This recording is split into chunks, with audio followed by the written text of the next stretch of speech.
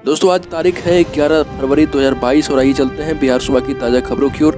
लेकिन उससे पहले दोस्तों, अगर आपने अभी तक इस चैनल को सब्सक्राइब नहीं किया तो कर ले, जिससे कि आपको बिहार सुबह की ताज़ा खबर रोज़ाना मिलती रहे। पहली और बड़ी खबर, गुरुवार को राजद की राष्ट्रीय कार्यकारिणी की बैठक हुई। पटना के पाँच सितारा होटल मौर्या में इसका आयोजन किया गया। लालू यादव, तेज प्रताप, तेजस्वी सहित कई दिग्गज नेता पहुँचे थे। बैठक में राष्ट्रीय अध्यक्ष लालू प्रसाद यादव भी थे और साथ ही साथ तेज प्रताप यादव को भी शामिल किया गया था।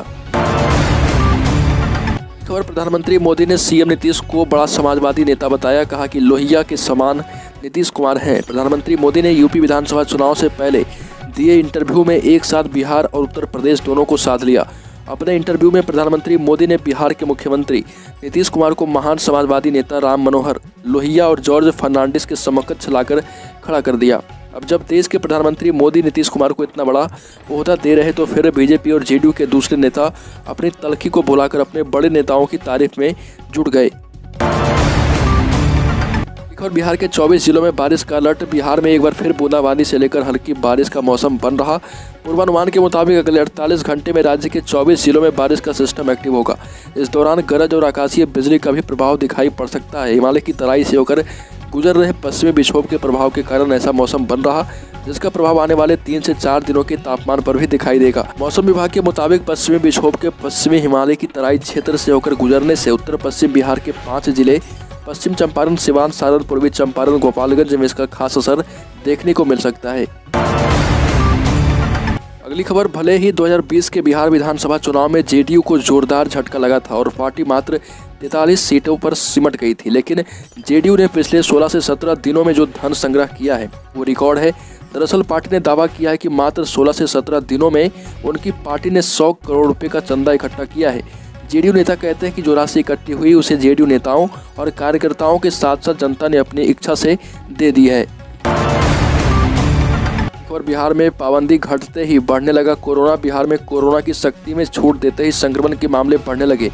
महज तीन दिनों में ही संक्रमण के नए मामले 235 से दो सौ इक्यासी हो गए हैं। इसके पहले कोरोना की रफ्तार घटते क्रम में थी, लेकिन फिर से बढ़ने लगी स्कूल और मंदिर और सिनेमाघर के साथ अन्य मनोरंजन के स्थान खुलने के बाद यह स्थिति बन रही है। संक्रमण की बढ़ती रफ्तार बता रही है कि लोग कोविड प्रोटोकॉल को लेकर गंभीर नहीं हैं, संकेत लापरवाही का दिखाई दे रहा। अगली खबर, रोहतास ज़िले के डेहरी शहर में अठारह सौ इकहत्तर में स्थापित ऐतिहासिक धूप घड़ी को देर रात चोर ले भागे। यह डेहरी शहर की प्राचीन ऐतिहासिक धरोहर थी और सुबह जब लोग मॉर्निंग वॉक के लिए निकले तो कुछ लोगों की नज़र धूप घड़ी पर पड़ी। तो देखा कि धूप घड़ी की धातु की प्लेट वहाँ से गायब है।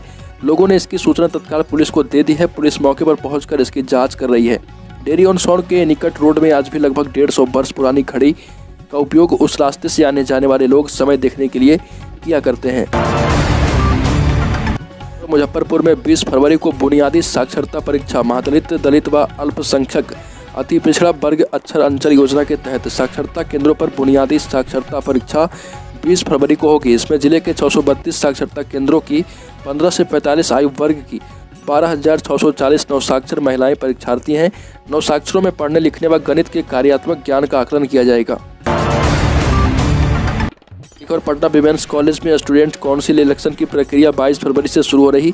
कॉलेज प्रशासन ने इलेक्शन का पूरा शेड्यूल जारी कर दिया है। इसमें इलेक्शन के लिए 26 फरवरी की तिथि निर्धारित कर दी गई है। इससे पहले 22 फरवरी को ओरिएंटेशन प्रोग्राम आयोजित किया जाएगा। इसमें बी और बीएससी सेकेंड ईयर की छात्राओं के लिए 10 बजे से साढ़े दस बजे तक का वक्त निर्धारित किया गया है।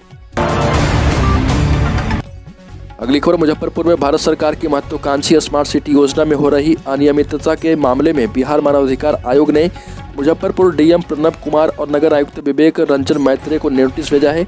आयोग ने इन दोनों से जवाब मांगा है। बता दें कि स्मार्ट सिटी योजना भारत सरकार की महत्वाकांक्षी योजना है। एक तरफ़ सरकार इस योजना में करोड़ों रुपये खर्च कर रही है। वहीं ज़िले में इस योजना की हालत खस्ताहाल बनी है।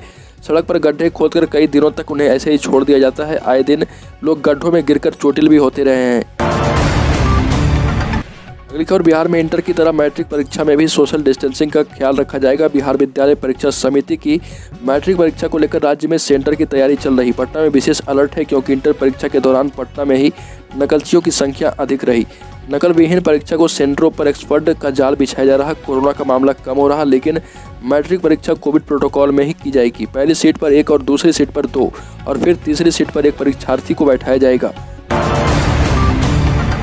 खबर कर्नाटक के उडुप्पू में जारी हिजाब विवाद पर विश्व हिंदू परिषद ने अपनी कड़ी प्रतिक्रिया दी।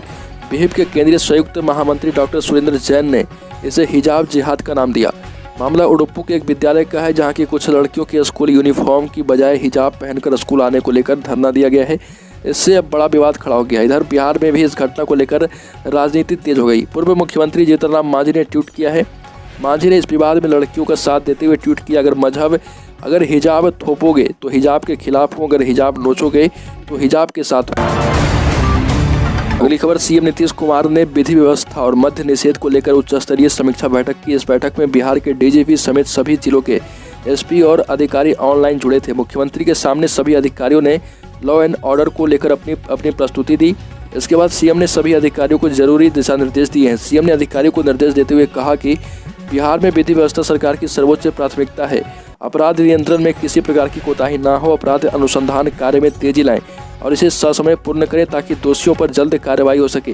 रात्रि गश्ती, पैदल गश्ती में किसी प्रकार की लापरवाही ना हो, वरीय पदाधिकारी भी खुद सड़क पर उतरें।